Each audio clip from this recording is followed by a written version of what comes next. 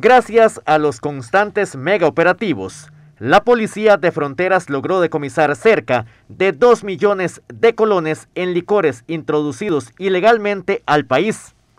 El decomiso se produjo en el puesto de kilómetro 35 en Golfito, cuando, al revisar un vehículo procedente de la frontera con Panamá, encontraron a bordo 164 unidades de gran variedad de bebidas alcohólicas, así como un cargamento de cosméticos.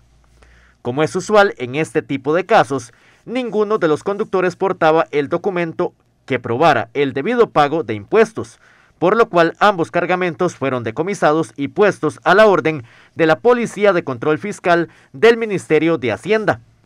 Las dos incautaciones podrían sumar al menos 2 millones de colones en productos que probablemente iban a ser comercializados dentro del país, con los consiguientes perjuicios al fisco y al comercio que sí respeta la legislación tributaria.